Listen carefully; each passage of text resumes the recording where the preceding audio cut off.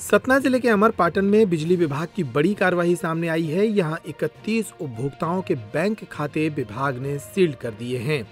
इन लोगों पर कई गंभीर आरोप थे।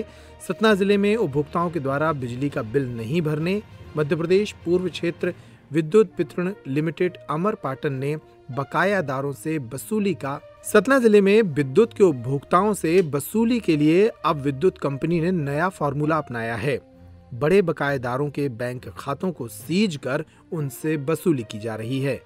विद्युत वितरण केंद्र अमरपाटन के अंतर्गत अब तक 31 बड़े बकायेदारों के खातों को सीज किया गया है। जब तक ग्राहक भुगतान नहीं करते, तब तक उनके खातों से लेन देन नहीं हो पाएगा।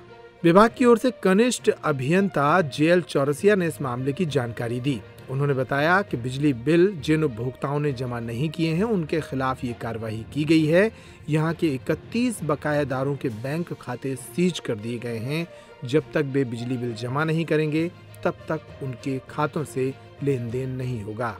बैंक खाता सीज करने पूर्व संबंधित जो बकायादार उपभोक्ता हैं या उस कनेक्शन का जो भी उपयोग कर रहे हैं, उन उपभोक्ताओं को नोटिस जारी किए गए थे।